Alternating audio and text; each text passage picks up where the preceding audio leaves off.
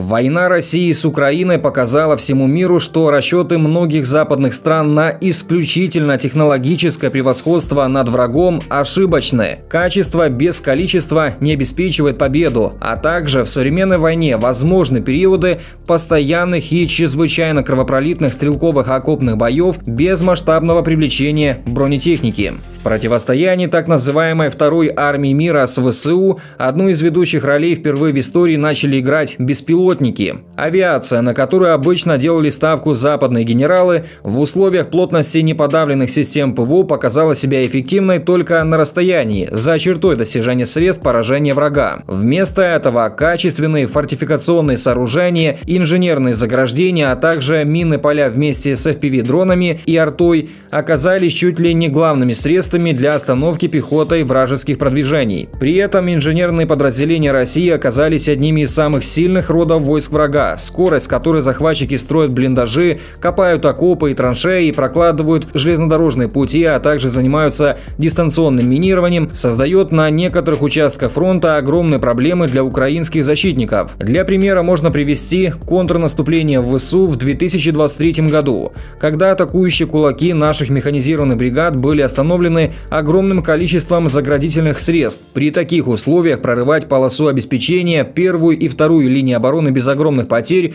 было крайне сложно, поэтому Киеву пришлось менять тактику и делать ставку на продвижение малыми группами, а не ударными подразделениями с бронетехникой. На критических для себя участках россияне построили крайне мощные укрепления, которые практически сделали невозможным прорыв войск фронта вооруженными силами Украины без ощутимого технологического и количественного преимущества как в боекомплекте, так и в личном составе. Львиную долю всего, чем россияне пользуются в войне против Украины, военные преступники тестировали на территории 18-го инженерно-испытательного полигона, расположенного в поселке Елизаветинка Ленинградской области. Огромная территория неподалеку от Санкт-Петербурга подчиняется воинской части 93268, командиром которой является Владимир Малькута. Редакция украинского 24 канала получила доступ к его личным рабочим перепискам и его родных. Как под руководством этого персонажа земли Минобороны РФ переходили в частную собственность, а сам офицер стал владельцем недешевой недвижимости,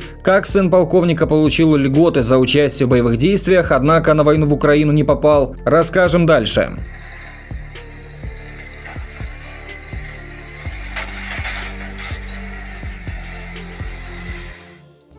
Чтобы хоть немного представить фигуру Малькуты-старшего, вполне достаточно просто привести некоторые факты из его официальной биографии. Профессиональный военный, бывший депутат Агалатовского сельского поселения и Всеволожского района Ленинградской области от «Единой России», конечно же. Владелец многих наград чуть ли не за все возможные военные. За воинскую доблесть, участие в боевых действиях в Сирии, содействие органам наркоконтроля и религиозные. Заочный выпускник Санкт-Петербургской духовной Православной академии РПЦ по специальности «Православное богословие». Словом, такой себе идеальный россиянин, преданный родине офицер, примерный семенин, что в свободное от работы время беспокоится обо всех своих родственниках, а на службе делает все, чтобы россияне могли убить как можно больше гражданских людей. Стоит отметить, что православный христианин из Малькуты вышел не очень, как и семьянин и держатель секретных данных. Ведь полковник постоянно хвастается своей работой перед женщинами на различных сайтах знакомств и видеочатах,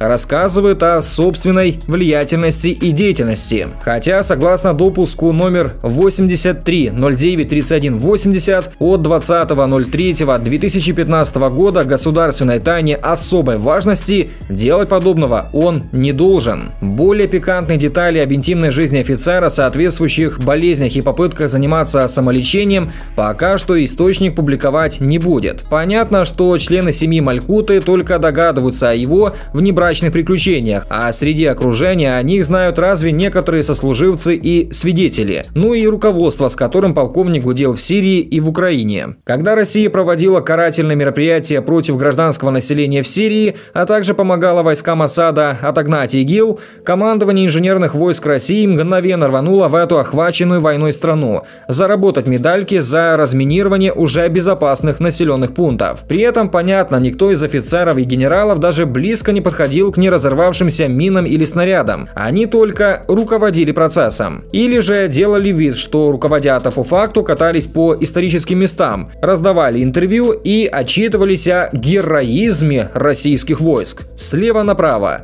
Замначальника инженерных сил России Руслан Аллахвердиев – руководитель инженерных войск России Юрий Ставицкий, командир ВЧ 93-268 Владимир Малькута, Иван Воробьев, руководитель Центрального научно-исследовательского испытательного института инженерных войск. Они не забывали пополнять собственные фотоархивы и заходить в местные бордели. Такие себе развлечения типичных россиян на истерзанных ими же территориях. Понятно, что сфотографировались военные преступники и на руинах Пальмиры, древнего сирийского города, который относится к всемирному наследию ЮНЕСКО и пострадал в результате боевых действий. Некоторые же фотографии россиян и вообще говорят о сотрудничестве должностных лиц ООН с военными преступниками. Чего только стоит наличие палатки управления Верховного комиссара Организации Объединенных Наций по делам беженцев на территории российской базы. Словом, для всего руководства инженерных войск России, как и для самого начальника испытательного полигона,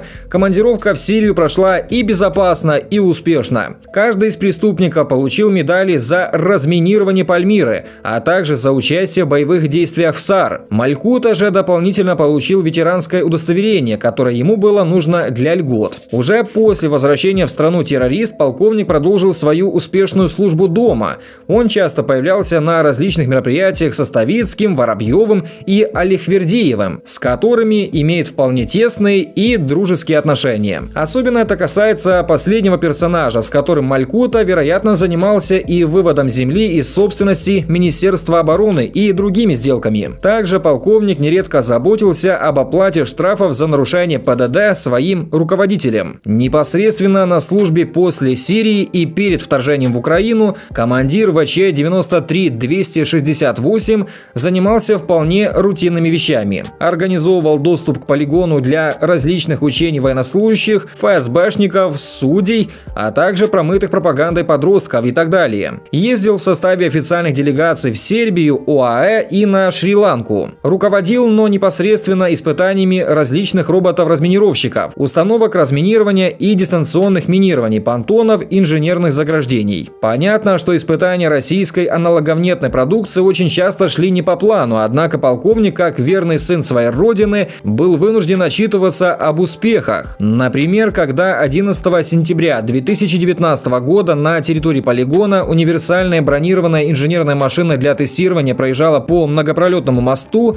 Малькута доложила о том, что конструкция соответствует заявленным характеристикам. Политика есть политика. Что же касается финансового состояния оккупанта, то бедным человеком назвать его никак нельзя. По крайней мере, по состоянию на 2017 год Малькута, как командир части, имел оклад в 212 тысяч рублей в месяц. Примерно 3500 долларов по тогдашнему курсу. Сколько официально зарабатывает полковник сейчас, неизвестно, однако точно не меньшую сумму, особенно с учетом всевозможных премий и доплат. Прописан полковник в поселке Елизаветинка Всеволожского района Ленинградской области.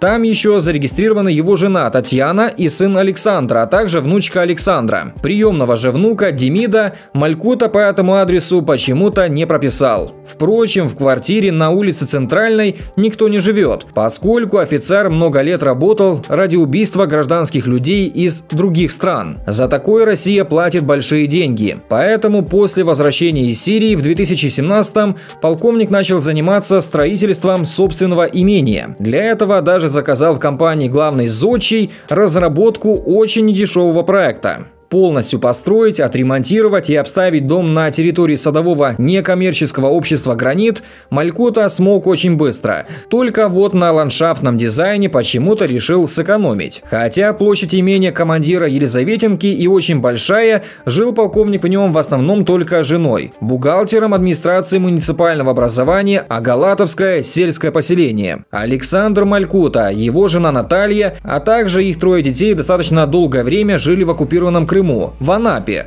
а недавно переехали в село. Об их семье стоит рассказывать отдельно. Сына командира ВЧ-93-268 можно назвать типичным наследником своего отца. Имея влиятельного родственника, он решил пойти по его стопам и отправился на военную службу. А окончив военный институт военно-космической академии имени Можайского по специальности картография в 2012 году, Малькота-младший попал в воинскую часть 29209, расположенную на границе с Китаем в Благовещенске. Впрочем, находился там террорист недолго. После оккупации Крыма, когда всем уже стало понятно, что полномасштабных боевых действий на территории полуострова в ближайшее время не будет, отец пристроил сына в другую воинскую часть 43651 с дислокацией в Ногинске Московской области. Однако служил он не замкадом, а находился в командировке в Симферополе, где занимал должность топографа отдела аэрофототопографического центра. Семья Малькуты-младшего была зарегистрирована по его рабочему адресу, но жили оккупанты в другом месте. Примечательно, что оккупант вооруженных сил страны-террориста уже тогда пользовался всеми лазейками, чтобы только получить от государства как можно больше льгот и бонусов. После женитьбы на Наталье в 2017-м оккупант-топограф долгое время писал руководству, чтобы оно признало опеку над ее сыном Демидом. В 2018 2015 когда в Сирии уже не проходило никаких серьезных боевых действий, Малькута отправляется туда, чтобы получить удостоверение ветерана и в дальнейшем иметь различные льготы от государства. Ни в каких опасных задачах он участие, конечно же, не принимал. Никакой военной романтики семья террористов не разделяет. Вместо этого Малькуты предпочитают комфортную жизнь и прогулки у моря, а не какие-то риски для жизни. В 2020 году Александр не без помощи своего отца перешел на другую работу, стал начальником лаборатории военного инновационного технополиса «Эра» в Анапе. Это заведение что-то типа Алабуги, только работает исключительно в интересах Министерства убийства России. Офицеры научных род Эры, согласно открытым данным, имеют доступ к современному оборудованию и работают на внедрение технологических решений в армию страны-террориста. Чем именно занимался в технополисе Малькута-младший, неизвестно, но точно не чем-то полезным для человечества. В одном из научных журналов в 2020 году была опубликована статья в его соавторстве. Методика Методика калибровки энергетического потенциала радиолокационной станции с фазированной антеннорешеткой для повышения вероятности обнаружения малоразмерных космических аппаратов. Хотя и сам капитан, и его отец имеют отношение к войне, их семьи живут абсолютно гражданской жизнью. Без свастик Z на машинах, упоминаний о кровопролитной войне и особых ограничений на тусовки. Жена Александра в социальных сетях не подписана ни на один пропагандистский паблик. Вместо репостов Соловьева с его ядерным пеплом или публикации стихов Дениса Чернухина, она делится в основном семейными фото с отдыха на море или из путешествий с мужем. Кроме воспитания троих детей занимается Наталья Дмитриевна шитьем нижнего белья и других вещей. Вот, например, запрещенное с 2014 года в России кружевное белье. Самой большой заботой женщины является недавний переезд из Анапы в Ленинградскую область, в село Медный завод, потому что она скучает по дому. Переживания капитанской жены вполне понятны. Мужа не отправят в Украину участвовать в мясных штурмах. У нее все в порядке с деньгами деньгами, нет никаких серьезных хлопот, поэтому тоска по морю – это единственное, что может беспокоить склонную к беззаботной жизни офицерскую жену. Сам Александр Малькута в соцсетях практически не активен, как и его отец, который сконцентрирован не на лайках и репостах, а реализации масштабной коррупционной схемы. Дело в том, что на территории военного городка Елизаветинка российское командование планирует построить большую центральную инженерную базу с админ гаражом, пунктом технического обслуживания и ремонта техники, хранилищем для инженерного имущества, площадкой для хранения техники, складом и другими сооружениями. База также должна содержать клуб и огромный спорткомплекс с бассейном и катком. Стоимость проекта почти 11 миллиардов рублей, львиная доля которых осядет в карманах Малькуты, его руководства и подчиненных. Таким образом, полковник сможет инвестировать в новую недвижимость, купить себе новую любимую Шкоду И дальше снимать недорогих, что странно, девушек легкого поведения. Его сын и в дальнейшем будет жить на широкую ногу, не думая о войне, командировках в зону боевых действий или любых других опасных моментах. Тогда как на территории 18-го полигона будут тренироваться новые группы россиян для отправки на смерть в Украину.